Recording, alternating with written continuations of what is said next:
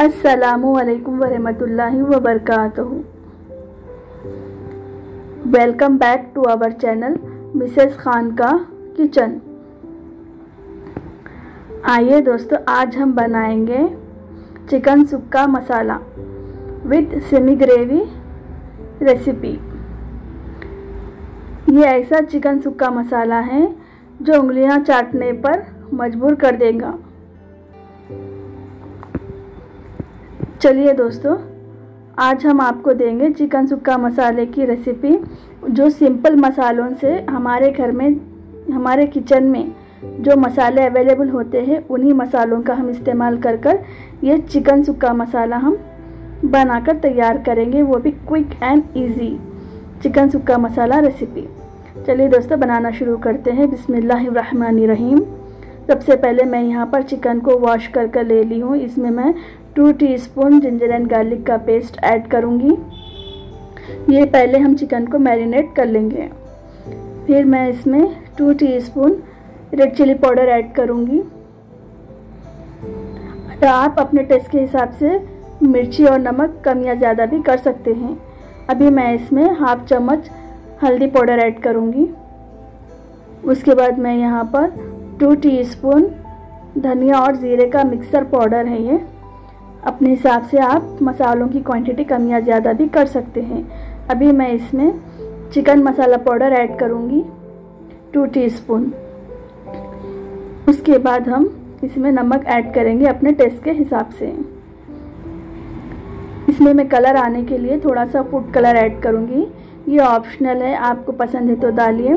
नहीं तो आप स्किप भी कर सकते हैं। फ़ूड कलर से जायके में कुछ भी चेंजेस नहीं होंगे।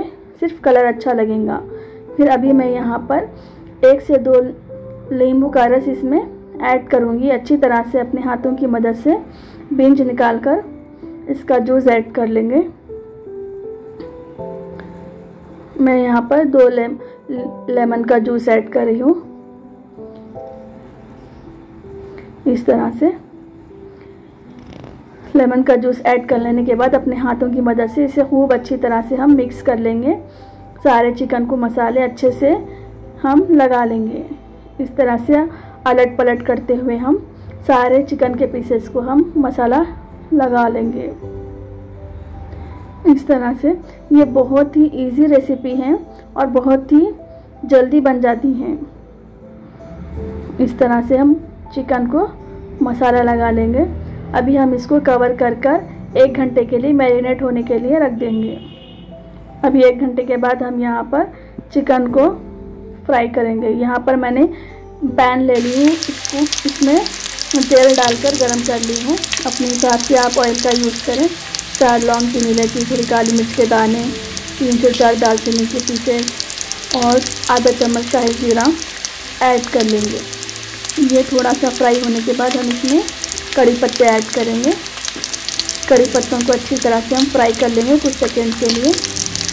गरम मसाला और कड़ी पत्ते फ्राई होने के बाद अभी यहाँ पर एक घंटा हो चुका है हमारे चिकन को मैरिनेट होकर।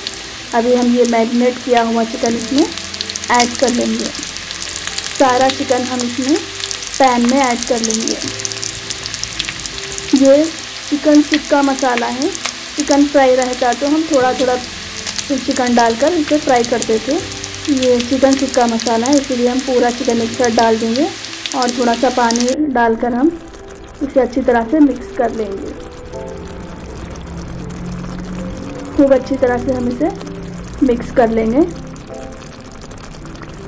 इस तरह से। ये बहुत ही यम्मी बहुत ही टेस्टी चिकन सुक्का बनता है, आप भी एक बार ज़रूर ट्राई करिएगा। इस तरह से मिक्स करने के बाद हम इसे कवर कर कर चार से पाँच मिनट तक हम इसे पकाएँगे। बीच बीच में हम इस तरह से हिलाते भी रहेंगे कवर निकाल कर ऊपर नीचे करते हुए। हम इसे मिक्स भी करते रहेंगे। इसके अंदर जो भी ये पानी है एक्स्ट्रा पानी, इस पानी को भी हम साथ में सुखाते रहेंगे। हमारा चिकन भी गल जाएगा इसी पानी में। हमने थोड़ा पानी ऐड किया था और चिकन का पानी भी छोड़ता है।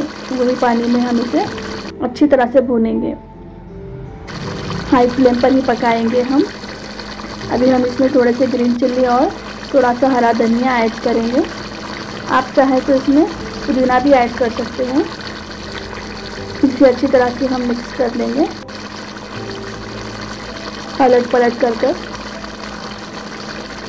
इसके अंदर जो ये एक्स्ट्रा पानी दिख रहा है, इस पानी को हम अच्छी तरह से सुखा देंगे। जब तक हमारा तेल ना दिखे, हम सुखा देंगे पूरी तरह से पानी को। यहाँ पर हमारा पानी सूख चुका है। देखिए, तेल साइडों से आ चुका है। अच्छी तरह से हम मिक्स कर लेंगे। ऑलमोस्ट हमारा चिकन भी अच्छी तरह से गल चुका है। चिकन भी अच्छी तरह से कुक हो चुका है। अभी हम कवर कर देंगे। दो मिनट के लिए हम लो फ्लेम पर दम पर रखेंगे। दो मिनट के बाद हम फ्लेम को बंद कर देंगे। दोस्तों, हमारा chicken sukka masala with semi gravy recipe बन करके तैयार हो चुकी है। जो उंगलियाँ चाटने पर मजबूर कर देगा वो वाला ये चिकन है। बहुत ही बहुत ही टेस्टी बनता है ये चिकन। आप एक बार ज़रूर ट्राई करिएगा। इसे हम सर्व कर सकते हैं रोटी, पराठे और स्टीम राइस के साथ। दोस्तों, वीडियो पसंद आए तो please please please subscribe like share and comment ज़रूर करें। साथ में बेल आइकन को भी प्रेस करें, ताकि आपको हमारी न्यू रेसिपी सबसे पहले देखने को मिले।